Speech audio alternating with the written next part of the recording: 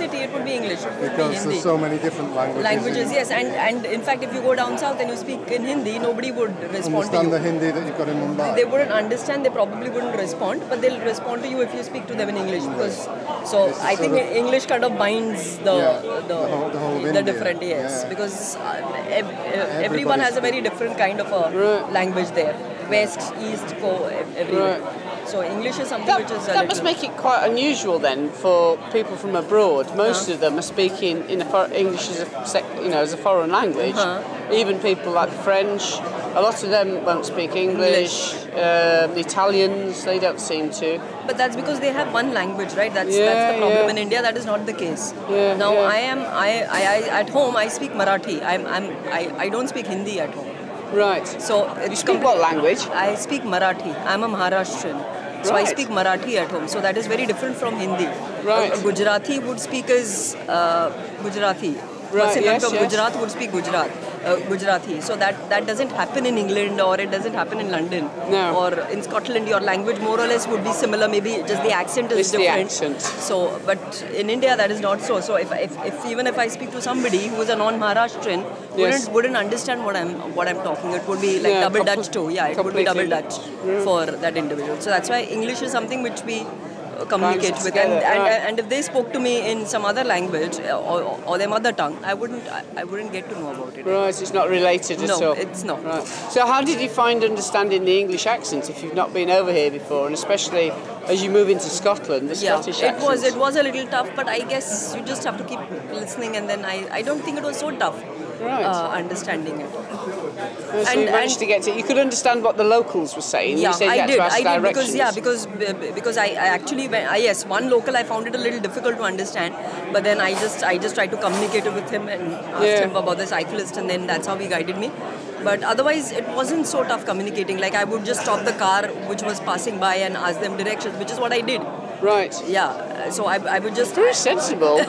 so I would just stop and then I would pull out the cue sheet, show them this is where I have to go. So just guide me. How do I need to go? Yeah. And they would be very helpful. I mean, they've been really, really wonderful. Like this lady, I told you, she went all the way. She went home. Uh, she went indoors. She got the map for me. She pulled it out for me. Then she showed me how how I need to go back from Right. where. And she also told me that I needn't go right to the control again. There is a midway where I can go Right. and eventually join the route. You know, which is what Right. she asked me to do. Wow. So which is what I did. So it was. Wow. you must have been horrendously lost. I was lost and lost in such a way that I actually, like I like like I've been telling, I actually started hallucinating. Even signposts started looking like people to me because I was I was wanting some human being on the road, you know. And Scotland, Yes. you don't find even a single human on the road. You're just No. finding sheep all over the place. Yes. So even sheep at times I started hallucinating and I felt at least somebody give me directions, you know. and even cottages, you don't see cottages for miles. I mean small little houses. Then I went to one house and from out I started calling, hello, anybody there, anybody there? Nobody answered. That's when I went further and I got I saw another little cottage. That's when I entered it. I, I, I, I just dared to enter without any permission. I entered it and then I asked this lady, see I'm lost. And so you need to tell me. So she's saying you're way off the mark. You need to again go back to the main route. You have you've just digressed a, a lot.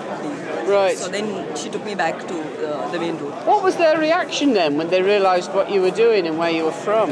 No, nothing. I mean, they were they were very. No, they kept telling me that we've been seeing cyclists in drips and drabs everywhere around.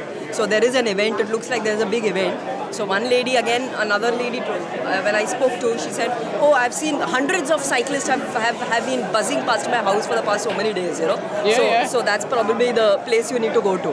That's the direction you need to go to. God. So So they knew about the event, but yeah, they must have been amazed though how far you'd come. I mean, that's what surprises them. yeah, you've come all the way from London. Actually, I, I, I, I feel a little uh, silly because the ones, the riders who were behind me, okay, they managed to complete. Right. And I didn't because of Because you got lost. you got because I got lost because of my own maybe foolishness. Next time I need to be better prepared. With Yeah. Navigation is so important. Is something which Yeah. I didn't really realize. Yeah, yeah. I Get- thought it would be easy. And see, in India, what happens is, India is full of people. Any nook and corner you go, there are people. Okay, Mm-hmm, so you, so you don't even need to ask. They'll tell you, oh, the cyclist went in this direction. Oh, right, You're okay. getting it. Here, you, you, you felt the same thing would be there. You know, you would at least find when you come to London, Yeah. it's easy because then there are people waiting at the bus stop or they're waiting somewhere Yeah, or yeah. cafes. You can stop. You can ask them. In in Scotland, there wasn't a soul. I mean, not a soul. One of the so lowest who do you population ask? densities. Who do you ask? I know. So uh, that's that's where you don't figure out that these these logistics could be a big problem. Nobody really tells. I mean, of course, they don't tell you because uh, they, they feel you need to be prepared with the navigation. But as individuals, since we come from such a populated country, Yeah. you feel that you you'll get anybody by the roadside to give you directions. You know that I need to go in there. But in these in in the outskirts or in the uh, in, in Scotland, there isn't anybody to give you directions. So I got lost completely. I had one control to reach, uh, Edinburgh control. I took one hour to reach. Though I had the cue sheet with me, I stopped people to ask them directions, but they kept telling me further, further, further. Not the exact kind of thing. So I lo- again lost one now. So the whole thing has been I've just been losing time Learning, and time yeah. and time. and they say and they say Britain's crowded, and you can Not tell them all. it's not. Not at all. Not Big Not where empty, this ride goes. big empty spaces. Yeah. Yeah. a lot of sheep there. A lot Yeah, of a sheep. lot of sheep. I mean, I just saw sheep and sheep. At times, I wondered at least somebody needs to be there to take care of the sheep. At least one individual. They're fine. Yeah, that's what nobody even seems to take care. And then I started wondering how does Scotland ever work? There aren't people on the road at all.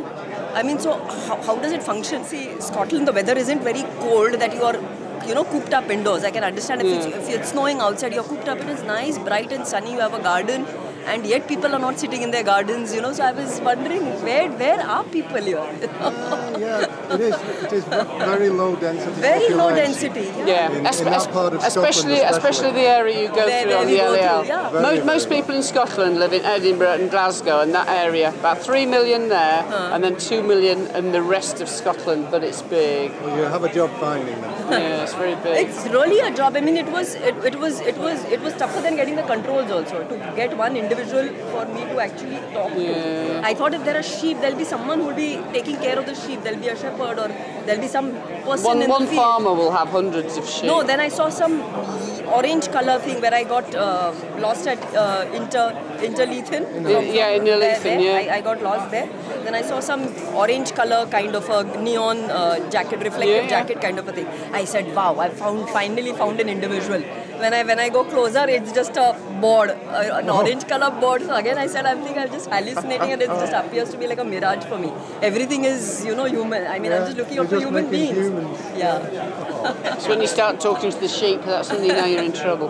Indeed. Yeah. Anyway, So it was Yes. it was a learning lovely meet experience. Yes, yes, yes. sorry, sorry you didn't finish.